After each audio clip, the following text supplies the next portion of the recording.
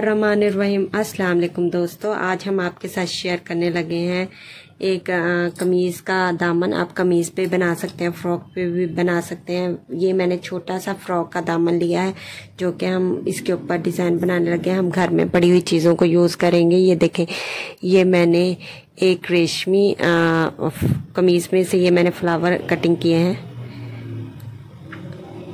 और ये मैंने लेस ली है इसके ऊपर लगाने के लिए। डोरी को भी यूज़ करेंगे इसमें। और अब हम स्टार्ट करते हैं।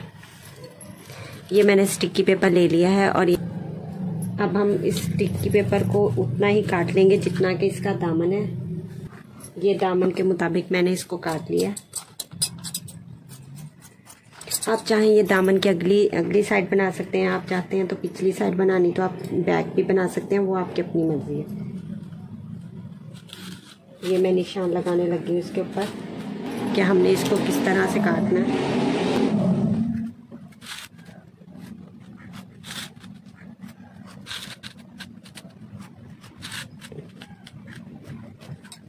लगा लिया है। अब अब हम इसकी कटिंग करेंगे।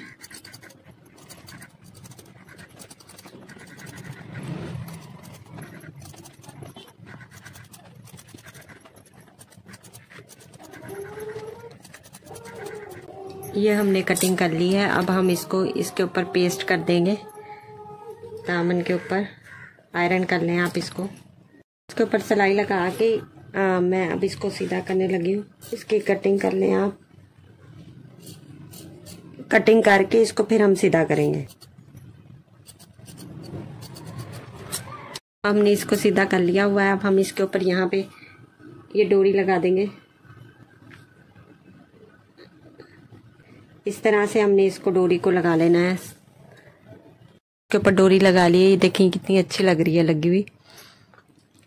अब डोरी लगा लिया तो अब हमने ये जो मोटिव लिए हैं, जो कि ये हमने यहाँ पे लगा देने हैं।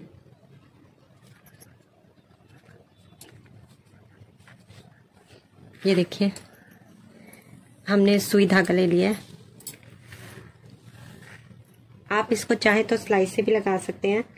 आप इसको चाहें तो सुई धागे से भी लगा सकते हैं, वो आपकी अपनी चॉइस है। मैं इसको सुई धागे के साथ लगा रही हूँ।